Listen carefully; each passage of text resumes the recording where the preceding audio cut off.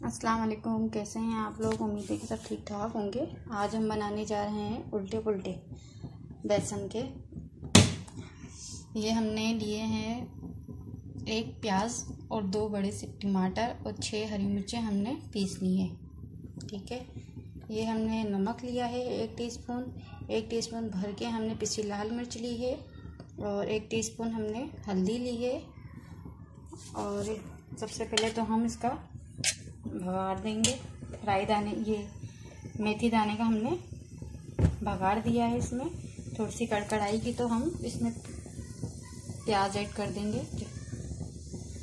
और ये हमने एक कप बेसन लिया है। इसमें हमने हाफ़ टी स्पून जो है नमक डाला है।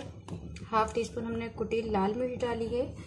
और इसमें जाएगा ये हरा धनिया, प्याज, हरी मिर्ची, ये सब डाल के इसका हम एक बैटर बना लेंगे।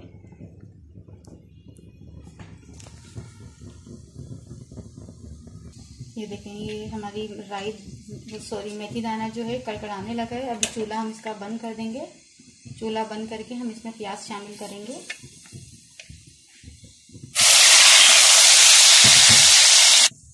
और इसमें सॉरी हम आपको बताना भूल गए थे, इसमें हमने अदरक लहसुन भी साथ ही पीस लिया था। और हमने चूल्हा इसको जला दिया है। अब इसके ये मसाले डालेंगे, पिसी लाल मिर्च, हल्दी, नमक। और एक ही चम्मच हमने ये पिसा हुआ धनिया लिया है।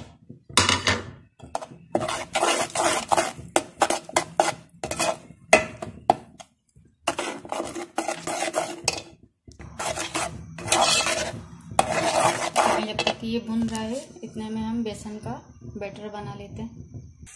ये देखें, बेसन हमने तैयार कर लिया है। ना ज़्यादा पतला है और ना ही ये ज़्यादा गाढ़ा है नॉर्मल है। बेसन। चलिए, अब अपना मसाला देख लेते हैं। मसाला भी हमारा बन रहा है। थोड़ा थोड़ा देखें जब तक हम अपने अंडे पल्टे तैयार कर रहे थे, हमने तैयार कर लिया है और आपको दिखाते हैं कि हमने हल्का सा ऑयल इसमें लगाया है बिल्कुल मीडियम फ्लेम पर रखना है हमें चूल्हे का और हमें जितना चाहिए होगा इसको हिलाकर हम इसमें हिला हिला के बेसन को डालेंगे। ताकि मसाला जो है, वो देखे ना इसका आहिस्ता आहिस्ता इसको फैलाते रहेंगे। चलिए देखें, ये हमने तैयार कर लिया। अब इसको अभी ये हो रहा है नीचे से। एक दो मिनट में हम इसको हल्का सा ऑयल लगाएँगे, फिर इसको टर्न करते हैं। ये देखें, इस तरह से इसको आराम से आप तल करेंगे। बिल्कुल इजीली ये बन जाएगा, ये देखें। अगर आपके पास नॉन स्टिक तवा है तो आप उस पर भी इजीली इसको बना सकते हैं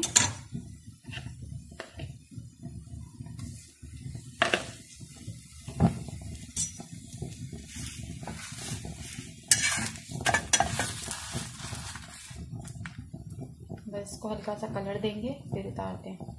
चलो देखें मसाला भी हमारा भुन गया है। इसमें हम पानी ऐड करेंगे। तकरीबन डेढ़ से दो गिलास। ये देखें दो गिलास हमने इसमें पानी ऐड कर दिया है। इसका शोरबा जो है, वो गाढ़ा नहीं होता। इसका शोरबा थोड़ा पतला होता है और ज़्यादा शोरबा यूँ रखते हैं कि हमारे ये बेसन के अल्टे पलटे जो हैं ये पानी जो है इसको खुश्क कर लेते हैं, जब्स कर लेते हैं। चलें इसको जब तक के बॉयल आता है, देखते हैं। आ जाते हैं। चलें अपने आटे पलटे को उतार लेते हैं। कलर इस पर आ गया है। इसी तरह से हम बाकी जो है बना लेते हैं। चलिए देखिए, ये हमारे तैयार हो गए हैं। अब इसको जब ये ठंडा हो जाएगा, हम इसकी जो ना, फिर कटिंग करके आपको दिखाएँगे। चलें, जो ठंडे हो गए हैं वो आपको हम ये वाला पहले ये ठंडा है। इसकी देखिए, इस तरह से। बिल्कुल आराम से इसकी कटिंग होती है।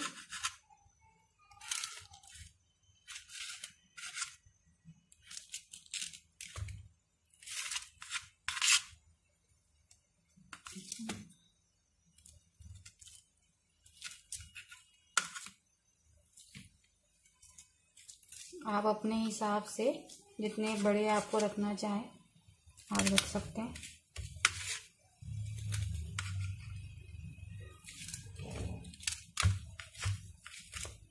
बाकी भी हम इसी तरह से कर लेते हैं। चलिए देखिए, शोरबा भी हमारा इसका तैयार हो गया है और ये हमने कटिंग भी कर ली है। अब हम इसको उठाकर इसमें डालेंगे।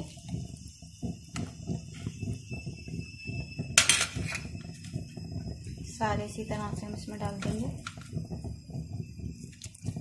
ये देखें ये सारे हमने इसमें डाल दिए हैं। बस इसको हम पाँच से सात मिनट इसको हल्की आँच पे पकाएँगे। जब तक इसमें बॉईल नहीं आ जाता, फिर उसके बाद हम इसका चूल्हा बंद कर देंगे।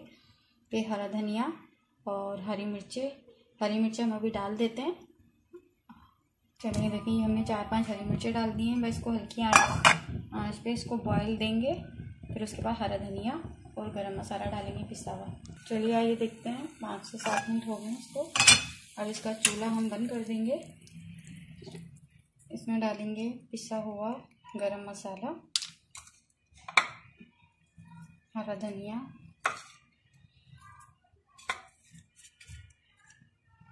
चलिए अब इसको हम जो है ना डिश आउट करके दिखाते हैं। ये देखिए, हमारे हम डिश हमने डिश आउट कर लिया उल्टे पलटे हमारे तैयार हैं।